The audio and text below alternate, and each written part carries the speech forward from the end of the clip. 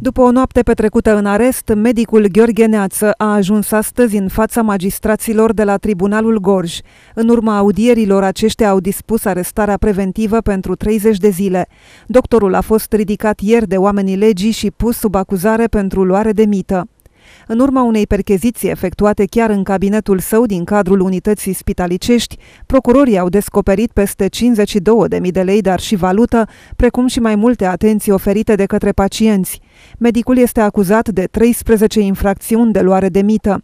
Oamenii legii spun că medicul refuza actul medical dacă nu era stimulat financiar de către pacient sau apropiații acestuia. În ultima lună, Gheorghe Neața ar fi primit diferite sume de bani și bunuri de la nouă persoane. Atențiile le primea în cabinetul său din incinta Spitalului Județean de Urgențe din Târgu Jiu. Procurorii mai spun că medicul acuzat era conștient de activitățile sale ilicite, dovadă fiind o rugăciune pe care acesta o spunea cu voce tare în cabinetul său și în care se ruga să fie ferit de procurori.